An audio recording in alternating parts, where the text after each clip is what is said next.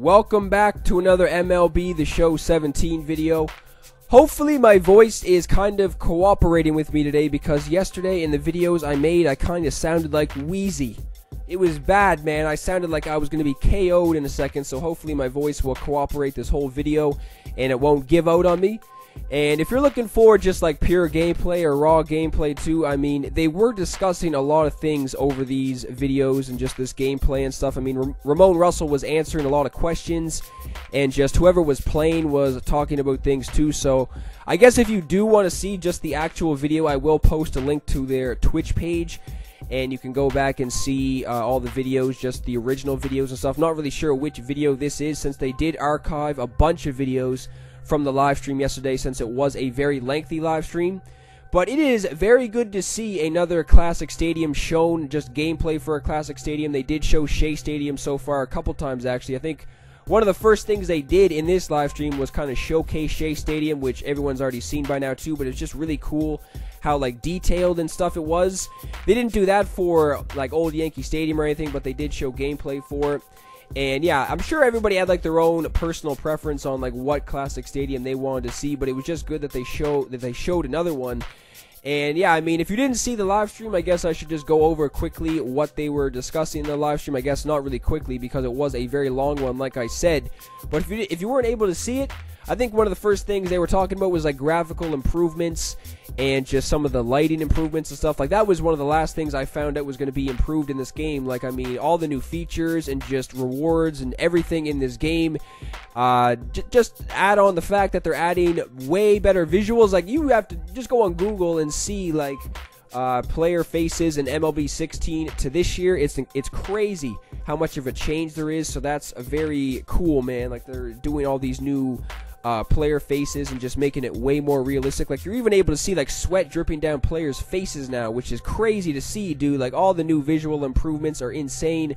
All the lighting looks amazing. All the grass and like field designs are better this year because yeah, like it's based off of like uh, re- based off like the real like stadiums now these days because I guess before they weren't really like doing it as like a grass pattern they were kind of just like painting it on the field but now it's actually like a grass pattern so it's gonna like change when you look at it a different way but yeah, man, it is good to see Old Yankee Stadium. It is looking very good. Every single stadium in this game that has been shown is looking very, very good, actually, more than very good. Everything that SDS has put out in these live streams is very impressive, and everybody is probably uh, excited to see everything that they've released.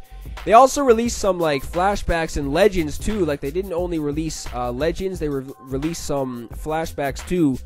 And some of the notable cards they released in the live stream yesterday, they released a uh, flashback Miguel Cabrera, which was nasty. One of those good hitting cards. What a surprise for Miggy. And then they released a uh, flashback Lorenzo Cain, which, in my opinion, in my personal opinion, that was the best uh, card they revealed in these live streams, man. It's just one of those cards with very good hitting stats, and he has like 91 power against uh, lefties too, so he has very good contact stats, and he has that power against lefties, and he also has like 73 vision with like the 93 fielding and like the 97 reaction. So reaction is actually going to mean a lot in this year's game, which was discussed a bunch from uh, certain people, I'm pretty sure. But yeah, man, reaction's gonna mean a whole lot in this game since like all new ball physics and stuff. You're gonna have to get like good jumps on the ball to jump on those balls, especially if they're like fading away from you and stuff.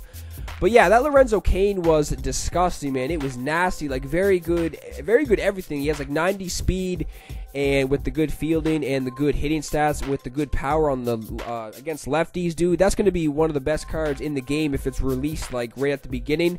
And they did show like one of the missions for uh, just in Diamond Dynasty. One of the missions that was shown, Lorenzo Cain was one of the rewards. So if that Lorenzo Cain is going to be available to get in one of the missions day one, I'm going to be grinding away to get that Lorenzo Cain because I am a I'm sure everyone is a big fan of those of those cards and just players who can do it all pretty much. But yeah, I mean, that's another thing I discussed in one of the videos. I guess I should say that uh, I made a create a player showcase video kind of because they did uh, discuss some road to the show again, and it was mostly just like.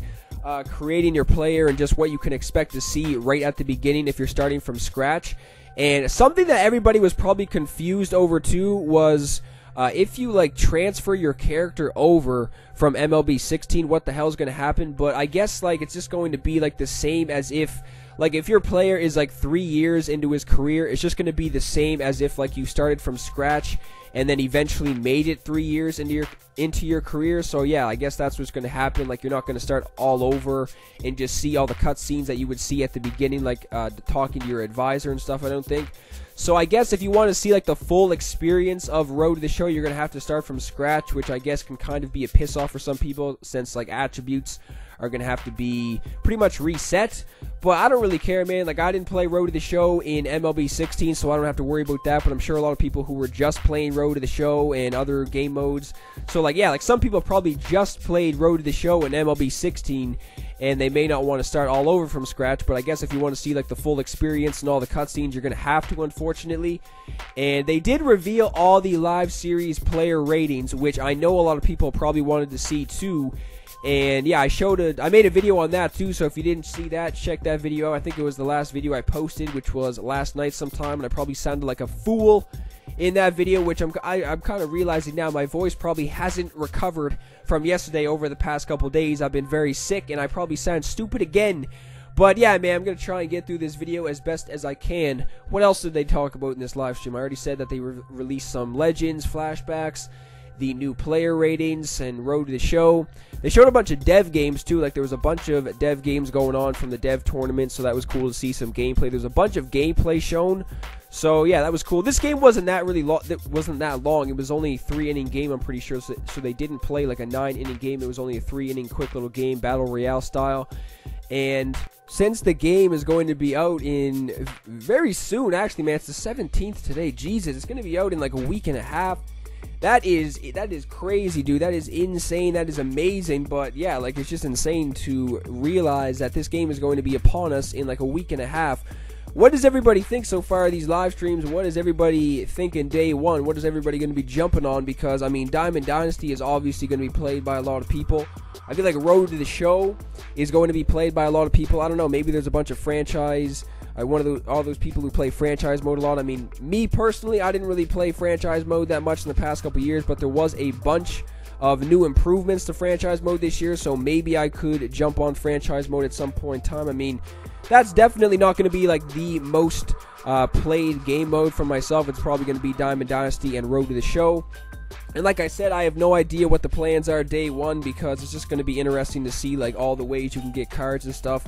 And if like I, have a feeling that like if Conquest is going to be or if they're going to have like a bunch of really good rewards in Conquest day one, or obviously day one, any point in time, Conquest is going to have good rewards. But day one, I jump on the game, and if I, you know, realize that there's a bunch of good rewards to get in Conquest, I may try and grind away at some of those uh, missions and stuff. Try and take over some thresholds, or if there's just, you know, anything to do in Conquest, if there's anything new, I will do that. And yeah, I'm definitely to be playing some Diamond Dynasty games too. Like, I'm probably going to. Uh, Oh, well, me, I don't know, man. Like that's the thing too. Like I'm probably gonna try and get some players to get a like a half decent team. Like I'm not gonna. I don't really want to play like a game with you know against a bunch of bronzes or something. I'm probably gonna try and get my hands on a couple silver players, possibly a couple gold players too. And especially if I get that, you know, Diamond Season or the Diamond Season Starter Pack with the Hall of Fame Edition because I still haven't pre-ordered the game, which I still need to do, dude. Like I'm still so confused. I mean, I'm still yeah, like every single day I'm just thinking like which one I should get. But yeah, like if this, they already said like the what you get in the Diamond Season Starter Pack. I'm pretty sure like it, you get a uh, mission starter to get a legend or a flashback or something. So that's gonna be you know that's gonna be very good to get something like that. And yeah, like that's the thing too. I'm gonna try and get my hands on some gold players, some silver players, and if that's the case, I'm gonna play some Diamond Dynasty games. But who knows, man? Like Road to the Show, I could just jump on Road to the Show and then not want to get off that game mode. Like that's like I yeah, I really have no idea, man, because Road to the Show has been the number one thing I've been excited to see in these live streams, and just the hype has been very real for Road to the Show so far. So I could just jump on Road to the Show first day, first thing I do, I could possibly jump on Road to the Show. Who knows what I'll be feeling uh, as soon as I get the game. So yeah, like I could just jump on road to the show and then not want to get off the game mode. But I know I've been posting Diamond Dynasty pretty much exclusively for MLB 16, so a lot of people are going to want to see that.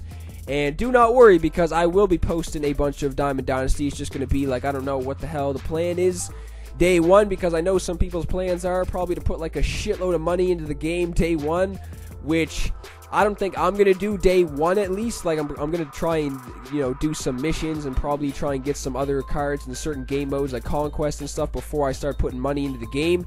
Because yeah, dude, like I just feel like that was the case for MLB 16. I, I found that a lot of people who said the game was like dead around like August were the people who got like all the cards uh, up like really early in the game because I really did. That's the reason why I probably didn't feel like MLB 16 died till like, dude, like January probably because I really didn't even you know get half the cards in the game till like summer rolled around. You know what I mean? So yeah, man, like I'm, I'm not gonna. That that's that just makes the game more interesting for people to watch too. Because if you get all the good players in the game or just a bunch of cards early in the game, then you're pretty much just gonna be playing with the same people.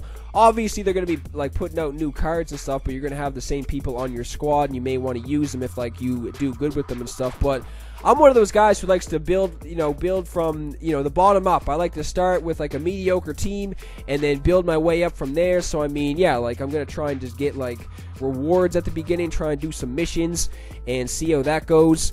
But I mean, yeah, this game's pretty much all said and done. Like I said, this was only a three inning game, and it wasn't like a really lengthy game or anything like that. So yeah, if you want to see like the the original video from SDS on their Twitch, I will post a link to that in the description.